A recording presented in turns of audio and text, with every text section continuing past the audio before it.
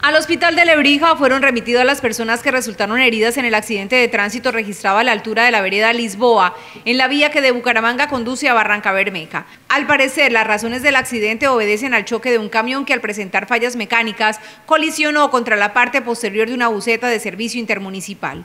Una buceta de Costa al parecer eh, se estacionó y fue colisionada por un tractocamión por la parte trasera, ocasionando pues varias personas heridas. ¿Cuántos pacientes recibieron ustedes? Eh, recibimos 11 pacientes, entre ellos dos pacientes con un trauma craneoencefálico moderado, otro con un trauma craneoencefálico leve.